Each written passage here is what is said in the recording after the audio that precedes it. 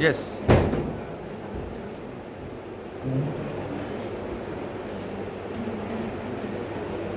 In the name of Allah, who is the most gracious and the most merciful. Honorable Chairman, respected teachers, and my dear school fellows. Assalamu alaikum. Today, my topic is Nation Independence Day of Pakistan. It was the 14th of August when the Muslims of the subcontinent and they get a land of their according to their religion.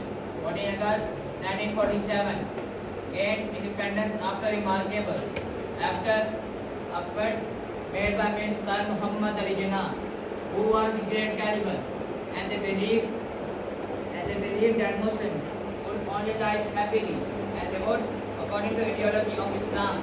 However, the effort by the people like Mr. Jinnah, Sir Allama Iqbal and Sir